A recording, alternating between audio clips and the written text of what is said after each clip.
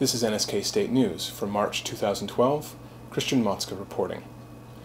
On March 22nd, NSK RVK, the Icelandic contingent of the state, will hold an induction ceremony, as well as a symposium on the life and work of John Heartfield. For more on this group and this event, please follow the link below. Retrograd London is fast approaching, with events ranging from an NSK retrospective to Laibach's concert at Tate Modern's Turbine Hall. It is the largest gathering of NSK events since Dublin 2004, and keeping track of it all may seem somewhat daunting. Luckily, Dr. Alexei Monroe has set up a website to track all of April's happenings. Please go to the link below for more information and where to buy tickets for each individual event. A 2013 citizen-driven NSK State Folk Art Biennale has just been announced. Please follow the link below for more information on how you may enter your work. Now, we will look back at an event that happened in New York City at the beginning of February. The Museum of Modern Art's print studio played host to an NSK passport office from February 1st through the 3rd.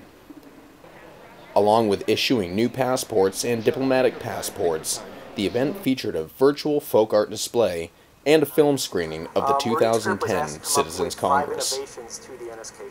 NSK State News was on hand to ask new citizens why they had joined the state because I was born in one country and on one continent, grew up on, in a different country on a different continent, and I've been working and I live on, on my way to my third country in the third continent. So, in my experience, I really feel like a citizen of the world. a, a country like NSK appeals to me because it is not a physical place it is a place, as you say, in time.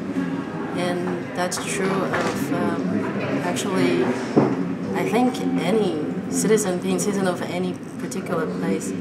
I became really intrigued by this concept of sort of subverting a power or political structure and thinking about ways that art can act or can have agency, be given agency through many, many different people who are acting from very di various different ways, but towards a, a potentially common goal.